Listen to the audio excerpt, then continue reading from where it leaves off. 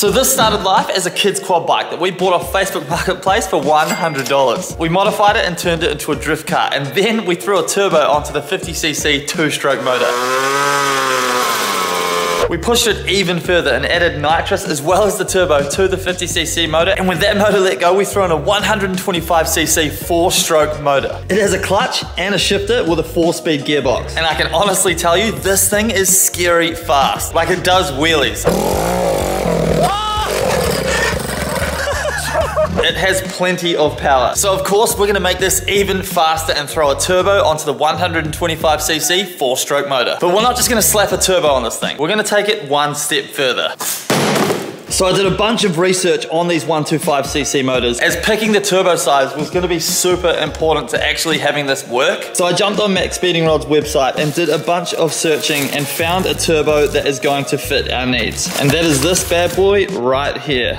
Woohoo, suss that out. The link is in the description if you wanna buy this exact same turbo for your setup. Use code MikeLake for 10% off, but this turbo is the perfect size for our small motor. This turbo is off a 1.6 liter turbo diesel motor. Now turbo diesels typically use tiny turbos. So even though this came off a 1.6 litre motor, it's actually a perfect size for our 125cc motor. It has a tiny two inch intake in the front and look at that tiny exhaust wheel in the back. Perfect. It's got a V-band core, V-band rear, and it's got an internal wastegate, which is exactly what we need. But like I said, we're going next level on this, and that's what this next box of goodies is all about. So currently, this motor is run by a carburetor. And that means to get the fuel and air into the motor, it uses this, a carburetor. So air goes in the front here, there's fuel in the bowl here, and they mix in here and go through this plenum into the motor, make the explosion, and that's what makes the power out the exhaust. But recently I was doing some late night searching and I honestly couldn't believe what I came across. You can get fully tunable EFI conversion setups for these motors. So I jumped on Alibaba, immediately ordered the kit last week, and this morning it arrived on our doorstep. So here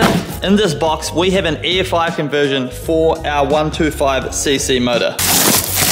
Ooh, so many wires. So like I said before, this is a complete EFI conversion kit for our motor, but it also contains everything, apparently, that we need to tune the motor. So first up, we have our intake manifold. So this has a throttle position sensor on the manifold, which is freaking awesome. And this is essentially where the boost is going to go into. And it also has a place right here where the fuel injector goes, which is absolutely bonkers. It looks like quite a nice piece of kit as well. This is all really well made, which is very surprising. Next up in the kit, we have an O2 sensor. So this goes into our exhaust, and this allows us to read the air-fuel ratio going through the exhaust so that we can properly tune the motor with boost. It's actually mind-blowing that you can get these so small that they would work for such a small motor. Next up, we have this tiny fuel injector. It's so freaking cute. I don't know how many cc's it is, but again, it looks like a nice piece of kit, and this goes into our throttle body.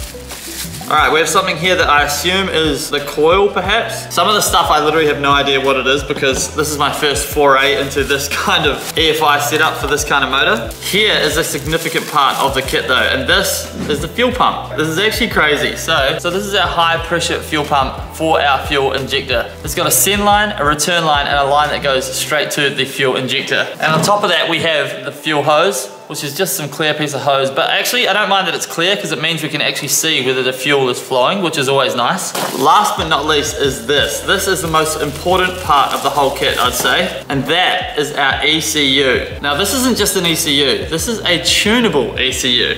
It comes with a USB cable so that we can literally plug into our computer. Every wire is labeled so it should be fairly simple to wire it up and we can literally tune this ECU and this motor with tuning software, which is absolutely mind-blowing to me. Sorry to get a little nerdy with you guys there, but I really wanted to explain the ins and outs of that kit because I couldn't find much info myself online about it. And I think it's a pretty awesome bit of kit and I cannot wait to fit it to our motor. So on top of the kit that we're gonna be fitting onto this motor, we are going to do a front mounted intercooler with custom stainless TIG welded piping, full exhaust, and basically build the setup to a really high standard. This has got to be the world's cutest turbo kit on this table right here. So what are our goals for this thing? Well, I really wanted to dyno tune tune this thing before we put the turbo setup on. Unfortunately, I haven't been able to organize that because everyone's so freaking busy at the moment. But we do know that these motors put out about seven horsepower from stock. So we're just gonna say this thing makes seven horsepower and we will dyno tune it after the turbo setup gets installed. But my goal for this setup is to have it genuinely working as a proper full turbo kit, making all the right noises, fully tuned, doing all the right things. Now, before we get started on making the turbo manifold and all the fun stuff like that,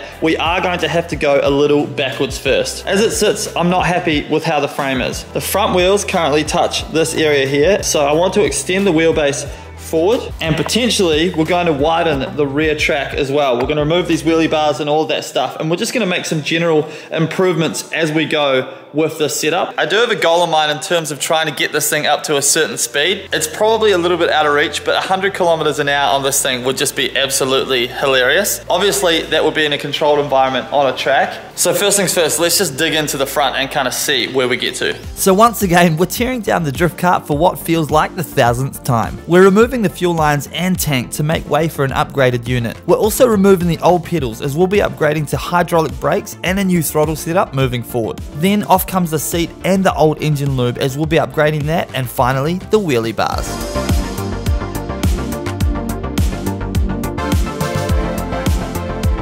And once again, just like that, our drift kart is naked. All the wires removed, everything exposed, and now we can get to work figuring out how we're going to modify this frame to make it a little bit safer so that when we do boost it and make it faster, we don't die. So basically what we're gonna do is we're gonna make some cuts and the whole front of the frame is going to come off the rear of the frame so that we can make an extension and move this forward A so that this doesn't hit here. Also when you extend the wheelbase of the frame you're actually adding stability as well which is always nice especially at high speeds. I don't want to make this frame a huge amount bigger I just want to make it like a little bit bigger so it's more stable but I still want to keep its compactness especially for when it's sitting here in the shop and we want to put it away somewhere. If it's too big it's literally just in the way all the time and that does become somewhat of an annoyance whereas at the moment it actually fits quite nicely under the stairs there so when we're not using it it's not in our way but I think we will extend the rear of the frame a little bit further back and we're going to widen the track at the rear because at the moment the front track is wider than the rear track. So we actually have some room to move here and that'll make the frame a whole lot more stable as well. But right now we'll remove the steering column and we're gonna make our cuts to the frame and see where we get to.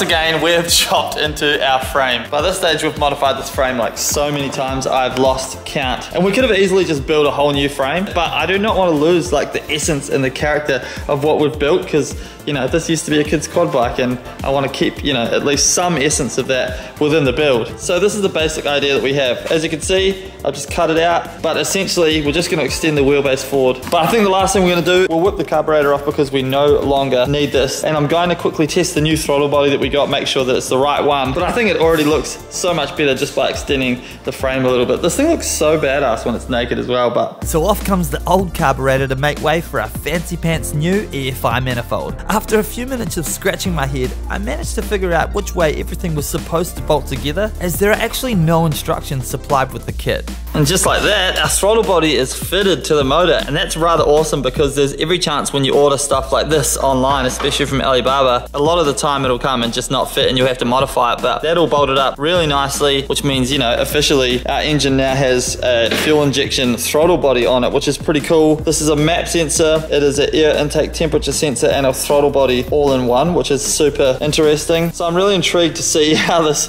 all comes together and how it all works. Like I said earlier, no one else has really done a build like this online. There is another 125cc dude that I saw that kind of did this, but he didn't run through exactly how it all came together very well. So I'm gonna run you guys through every step of this in depth. And it's gonna be a high quality build. I cannot freaking wait. I'm very intrigued to see whether it actually runs with all the ECU and everything like that, but that's uh, a long way off yet. But if you can imagine the turbo like fitted, we're definitely gonna run it up front somewhere because you gotta show that stuff off. Hopefully she doses as well, but obviously the turbo is gonna be clocked. We've gotta decide what side we wanna run it on, left or right. There's so many decisions to be made, but uh, I'm excited. Are you excited? Where's the old turbo, compound turbo, you know what I'm saying? Two turbos. One on top of the other, you reckon? Compound turbo setup. Don't get ahead of yourself. We've got to make it work with one first. Don't know if I mentioned before, but that whole ECU setup off Alibaba was $515 shipped to Australia. So make of that what you will. Obviously, if it works well, I'd say that's pretty well worth it, especially for the extra power and tunability we're gonna get. It's all an unknown at the moment, and that's what makes this series so freaking intriguing. But that is all we have time for today. I need to go home and get ready